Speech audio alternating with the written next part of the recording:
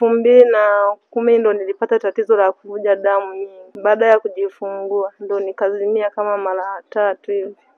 Madaktari bingwa wa magonjwa ya wanawake na uzazi walioweka kambi katika hospitali ya mkoa wa Geita wamefanikiwa kufanya upasuaji na kutoa uvimbe wenye uzito wa kilo tano tumboni kwa mwanamke aliyeishi na uvimbe huo kwa miaka kumi.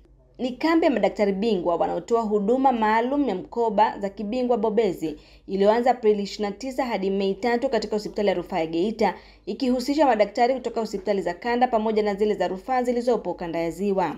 Evelyn Paulo mkazi wa Biharamulo mkoani Kagera ni mgonjwa aliyetolewa uvimbe wenye uzito wa kilo tano uliokuwa nje ya kizazi na aliishi nao kwa miaka kumi bila matibabu. Nilikuwa naugua macho, nilipokuja kupimwa wakaniambia, we mama, una tatizo la uvimbe.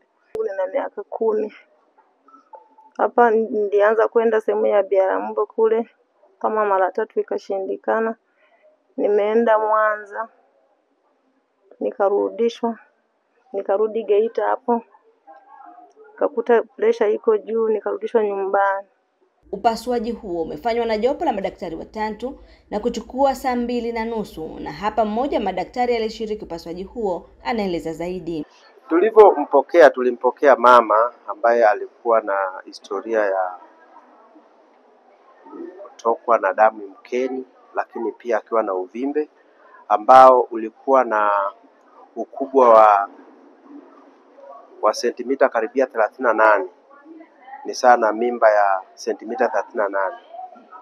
E, lakini baadaye tulimpanga kwa ajili ya operation na tulipomtoa tulipomtoa kumfanyia operation e, tulitoa uvimbe ulikuwa na ukubwa wa sentimita ulikuwa na kilo kilo tano.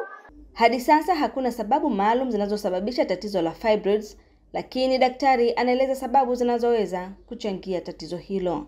Lakini pia inakuwa ni wale ambao wana, wanazipata eh, wanazipata kutokana na aidha anaweza kaa na family history eh, yani historia kwenye familia, aidha dada au dada au mama yule first degree relative wakiwa nayo kwa na mtu anaweza kaa kwenye riski ya kuipata. Kwa hiyo inaweza kaa ni genetic predisposed, lakini pia eh, inaweza katokana zinaweza katokana kwa, kwa wale ambao wanakuwa na na obesity wanakuwa na na, na kitambi over uzito mkubwa, wenyewe pia wako kwenye riski, lakini wanasema kwamba kisayansi inasemekana kwamba ili ikikuwa kubwa kama hiyo ni wale ambao wanakuwa na na muda mrefu wa kuwa exposed kwenye estrogen. Ukiwa muda mrefu kwenye estrogen, maana yake ni kwamba hedha huzai ko unapata wale wenye infertility na wale ambao unakuta kwamba uh, either imetunga nje nje ya kizazi, lakini mwisho ana parasitic, lakini samezaa mara nyingi. kwao, unakuta kwamba hiyo eh, inakuwa inakuwa inaendelea kukua. kwao, kadri unavyokuwa na estrogen nyingi ndio inavyozidi kukua na na yenyewe. Katika kambi hiyo wananchi zaidi ya elfu moja wa mkoa wa Geita na nje ya mkoa huo wamepata huduma za kibingwa. Wananchi wamefurahia zoezi hili na mnaweza kuona wanatamani kuona kwamba hizi huduma zinakuwa endelevu uh, kwenye kanda especially Geita. Kwa sasa tumeweza kuhudumia wananchi kutoka halmashauri zote ambazo ziko ndani ya Geita, lakini pia kutoka mikoa ya jirani wamekuja kupata huduma hii.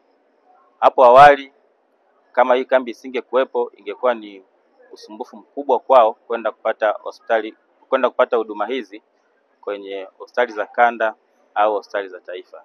Uh, kama Wizara ya Afya au kama serikali, nia yake kubwa ni kuhakikisha kwamba huduma hizi zinawasogelea wananchi karibia na huko waliko. Tukumbuke kwamba kama miaka mitatu iliyopita hospitali za mikoa zilikuwa na mabingwa chini ya mia moja lakini tunapoongea sasa hivi hospitali za mikoa zote zina mabingwa zaidi ya mia tatu ishirini na tano kwa sasa. Kwa hiyo wakati serikali inaendelea kuongeza mabingwa katika ngazi za mkoa, hivyo hivyo tunaelekeza na huduma za kibingwa na ubingwa ubezi kuzielekeza karibia na wananchi, kuwapunguzia adha ya kutembea mwendo mrefu kuzifuata hizi huduma katika hospitali za kanda au taifa. Fibroids au mayoma ni uvimbe unaoota kwenye kizazi na unaweza kutokea ndani ya mfuko wa uzazi au pembeni mwa ukuta wa kizazi, na hadi sasa tiba pekee inayotambulika ni mgonjwa kufanyiwa upasuaji. Kutoka mkoani Geita, Rehema Mato, Mwananchi Digital.